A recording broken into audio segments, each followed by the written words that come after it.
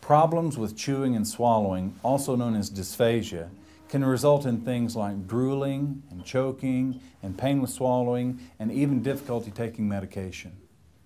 Dysphagia can be caused by muscle weakness, trauma to body structures used for swallowing, and neurological and gastrointestinal disorders like stroke and chronic heartburn. The National Institute of Deafness and Other Communication Disorders estimates that approximately 15 million people in the United States demonstrate some type of dysphagia. Traditional dysphagia treatments include exercises, safe swallowing strategies, and diet modifications. These have been widely used by speech language pathologists for many years. But the addition of a relatively recent dysphagia treatment using neuromuscular electrical stimulation is now gaining momentum. Electrical stimulation activates both muscles and peripheral motor nerves that coordinate swallowing structures. This allows for muscle strengthening and improvement in swallowing control to recover safe swallow functioning.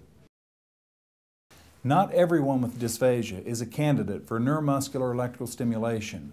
Folks that have muscle weakness and neurological disorders tend to benefit the most. So ask your doctor which treatment might be best for you.